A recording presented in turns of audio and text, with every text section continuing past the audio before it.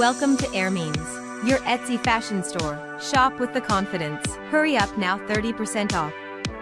Find the link in the description. Vanessa Marcil stepped further to defend Megan Fox from trolls criticizing the actress for her relationship with Machine Gun Kelly, female tribe. Are y'all really still out here saying stupid, transparent, jealousy, s, t about each other? Tearing each other down. Calling each other whores.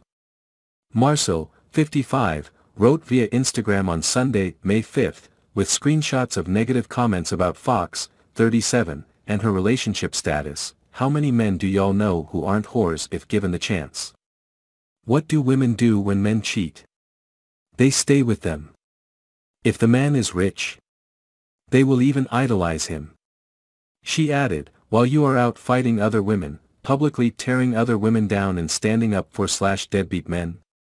Men are laughing at us and still ruling the world.